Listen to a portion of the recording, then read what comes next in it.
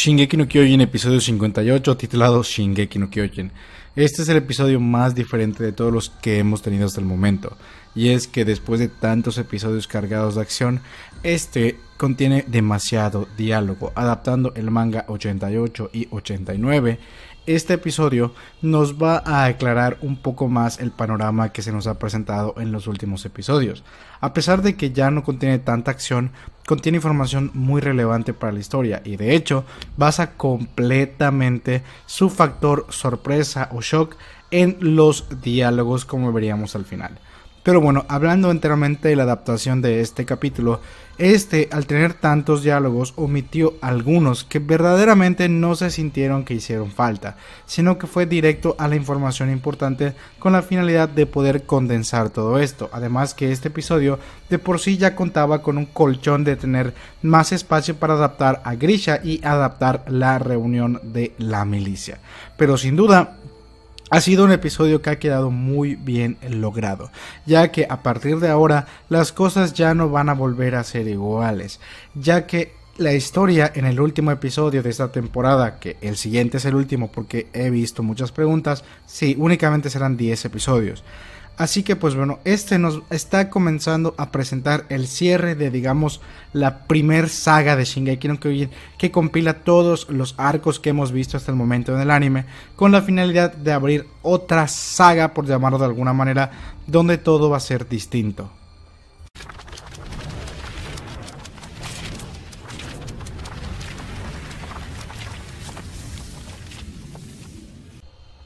Las escenas eliminadas fueron cuando Eren Kruger sale del titán y se quita la corbata, y otras de diálogo como cuando Kruger habla acerca del señor Jaeger, el padre de Grisha, diciéndole que pues es una manera de sobrevivir, lo cual pues bueno, realmente son diálogos importantes, pero que pues no aportan tanto, únicamente lo puedes disfrutar en el manga y no pasa absolutamente nada. Algo que también fue eliminado fue lo de la carta de Mir que ya habíamos visto en el episodio 35, el 10 de la segunda temporada, lo cual me pareció espectacular. Y pues bueno, a pesar de que era un momento realmente importante porque acá Ymir confirma que ha muerto o que está cerca de morir, y de hecho tenemos una escena o un vistazo a un momento que va a ocurrir en el manga 93 que es cuando le otorga su poder a un marleano o a un guerrero.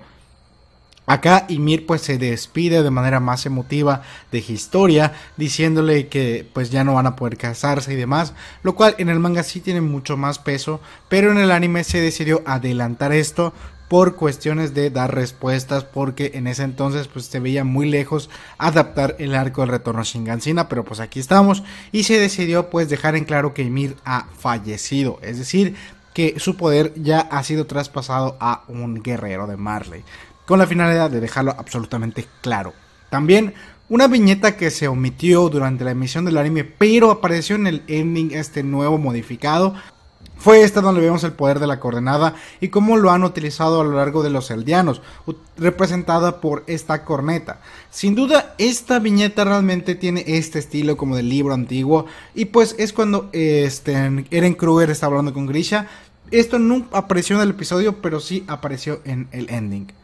Este capítulo, como mencioné al inicio, contesta varias dudas por medio del diálogo y sin enseñar tanto, pero que si prestamos con atención realmente tiene completo sentido. Lo que dice Eren Kruger acerca de la maldición de los 13 años realmente se ajusta mucho a lo que ocurría con los reyes, además del hecho de que se tenga que pasar el poder de generación en generación. Esto posiblemente sea una maniobra de Ymir para que no exista ningún dictador, es decir, que nadie viva para siempre teniendo el poder. Pero sin duda, esto de la maldición de los 13 años es lo que digamos le da un giro distinto a tener un poder titánico, que parecía algo que estaba muy OP,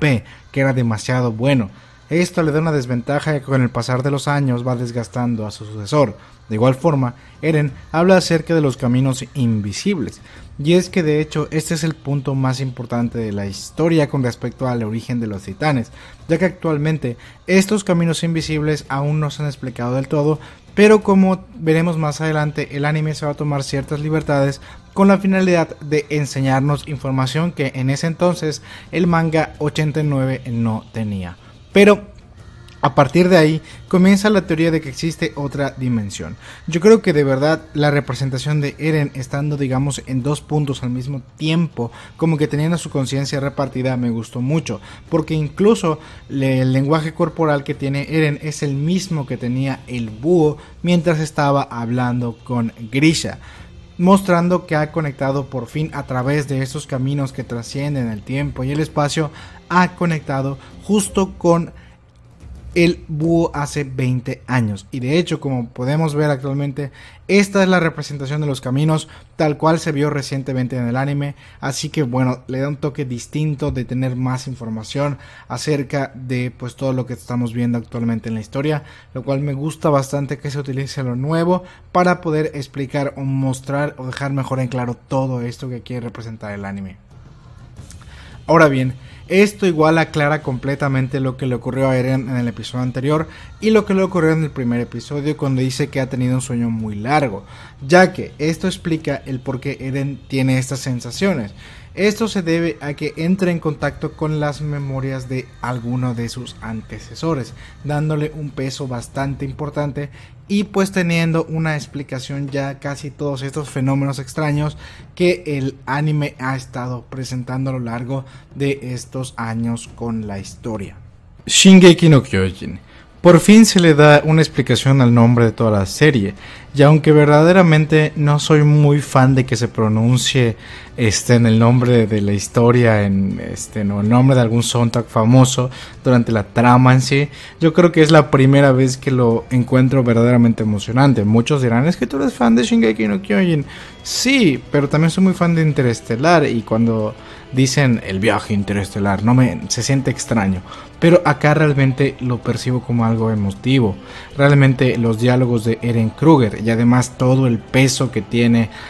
el hecho de conllevar este poder, porque verdaderamente Shingeki es de Titán, no de Kyojin de ataque. Por lo cual, pues hace sentido realmente desde la nomenclatura en japonés, hace sentido, solo que únicamente lo conocíamos por ataque a los titanes, ataque de los titanes, y pues verdaderamente ataque Attack on Titan. Entonces, como que sí, ahora hace demasiado sentido porque, bueno, sinceramente los diálogos y cómo quedó por la música fue un momento épico. Sinceramente, el hecho de volver a verlo, se siente que estamos viendo algo memorable, algo,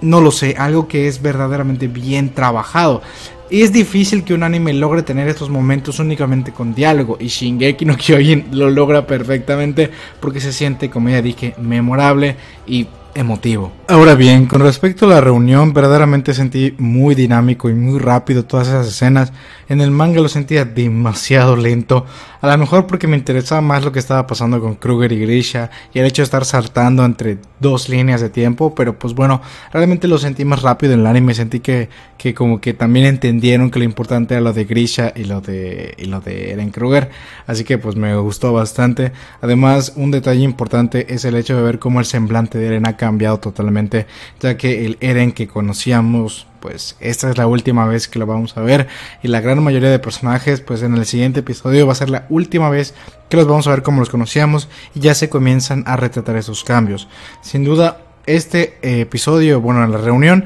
en el capítulo del manga, lo único que tenía que decir era con respecto a dos cosas con respecto a aclarar quién era el enemigo, es decir, el mundo exterior, y cómo Eren activó la coordenada por medio de la sangre real de Dana Fritz. Pero lo que verdaderamente llama la atención en este capítulo, y es cuando yo te había dicho que el diálogo va a empezar a hacer cosas importantes, es justo cuando Eren Kruger le va a dar su poder a Grisha Jäger, que el diálogo le da un giro totalmente al poder de los titanes, los caminos invisibles y demás. Este giro ocurre como algo impresionante, algo que se ha comenzado a plantear desde que Eren comenzó a conectar con sus antecesores, y es el hecho de que Eren Kruger le mencione a Grisha Jäger los nombres de Armin y Mikasa y que tiene que salvarles. Obviamente esto está fuera de tiempo, y es que justo antes que le dé la inyección le dice alguien va a ver esto. Es como si Eren Kruger supiese que esas memorias viajan a través de esos caminos.